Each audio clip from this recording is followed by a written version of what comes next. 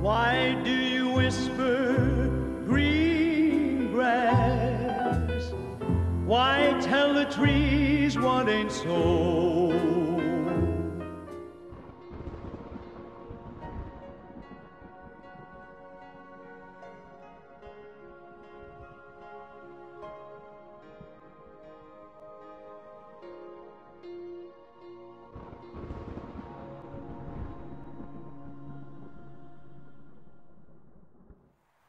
Hi everyone, how you doing? It's Paul here from Unusual Things. Now this morning I have come to Rochdale Cemetery. To be honest, it's an afternoon, it's not even morning. And I've come to Rochdale Cemetery. Do you recognise that guy behind me? It's the aqua adventurer, Lee. he's, uh, he's come out of me today. Uh, if you haven't seen him on YouTube, go check him out. He does loads of diving videos and things like that. Great, great channel. Um, yeah, so today I've come here to see the grave of Don Estelle. Now, of course, he was an amazing singer and he was also in It Ain't Half Hot Mum. And uh, I'll tell you a little bit more about Don Estelle real soon. Don't forget if you like the video today, give it a thumbs up. Um, hit the subscription button if you haven't done so already. So I'm just holding my phone quite close to me because there's lots of traffic around today. And of course, leave me your comments down below of anything that you've seen Don Estelle in. Let's get on with it, shall we? Don Estelle, born the 22nd of May 1933 to the 2nd of August 2003, was an English actor and singer, best known as Gunner Lofty Sugden in Half Hot Mum. Born Ronald Edwards in Crumpsall, Manchester, he was brought up in a house on Russell Street. During the Second World War at the age of eight, he was evacuated to Darwen, Lancashire to escape the Manchester Blitz. It was there that he found his voice as a boy soprano at the local Holy Trinity Parish Church. And on returning home after the war, he continued singing at St Mary's Church, Crumpsall. He later joined a charity group, the Manchester Kentucky Minstrels, and performed Granada in the 1954 talent show What Makes a Star at BBC Radio's Northern Studios in Manchester. Estelle gained experience by singing one song 12 times a week in the show the Backyard Kids at the Hulme Hippodrome in Manchester. He met the actor Windsor Davies in 1962 at the Garrick Theatre in London, and the two men formed an act which toured theatres and clubs for four years. Estelle had small roles in Dad's Army, playing Pickford's removal man in one 1969 episode, and an ARP warden called Gerald in three more 1970. He eventually gained the role of Gunner Lofty Sugden in the sitcom It Ain't Half Hot Mum, which was first broadcast in January 1974 and ran until September 1981, returning him with Windsor Davies. His Sergeant Major character often mocked Lofty in the storylines. The character was given the iconic nickname of Lofty because of Estelle's 4 foot 9 stature. Estelle had a powerful tenor voice and had a number one hit in the UK singles chart in 1975 with a semi-comic version of Whispering Grass.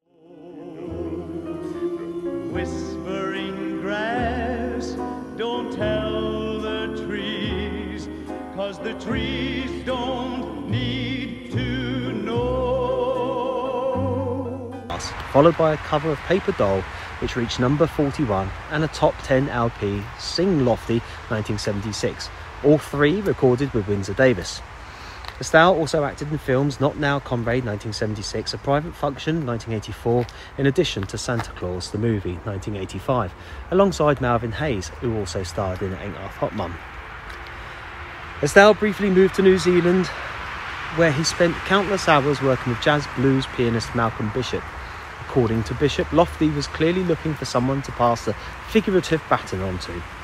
He was extremely generous with his time and resources, and his shortbread as well, which he loved to have, uh, which was made by a local friend. Estelle made a visit to the UK as the BBC were filming a documentary on the history of British comedy and had requested interviews. He also needed a liver transplant, but he became too weak for doctors to operate. Estelle returned to the UK weeks before his death. He died in Rochdale Infirmary on the 2nd of August 2003 and was buried in Rochdale with the oversized pith helmet he wore as gunner Lofty Sugden. He was survived by his second wife, Elizabeth.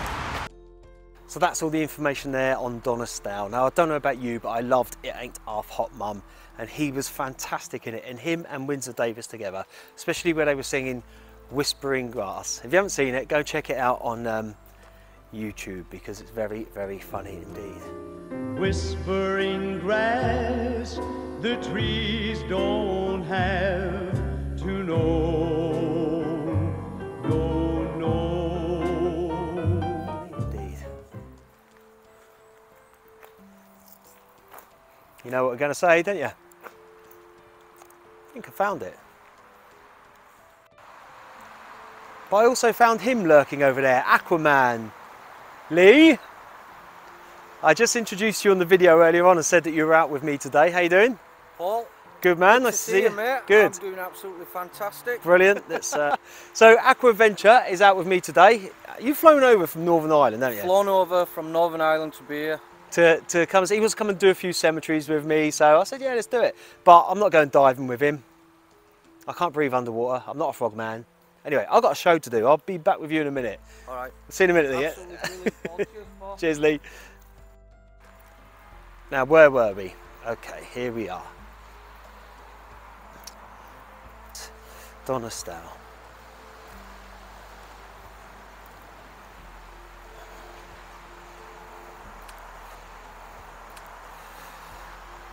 Here lies Don Estelle, 1933 to 2003. He has left many loving, treasured memories. He will be sadly missed by all. Don lost his fight for life on the 2nd of August 2003 at the age of 70 in his beloved town of Rochdale. Also Sheila Ann Edwards, daughter of Don, and a dear sister, auntie and niece. Formerly of Chestertown, unfortunately, and sadly lost her fight on the 15th of April 2016 at the age of 58. And there's a lovely little microphone there for him. And then it says down under here, oh, I can't quite read it. Thank you very much and good night.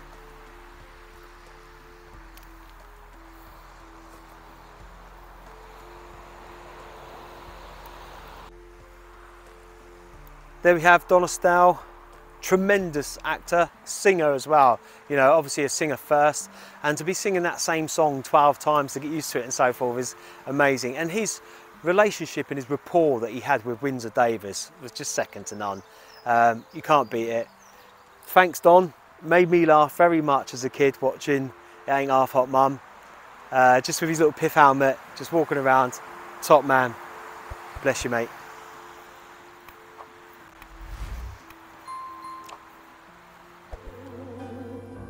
Don't you tell it to the breeze, cause she will tell the birds and bees, and everyone will know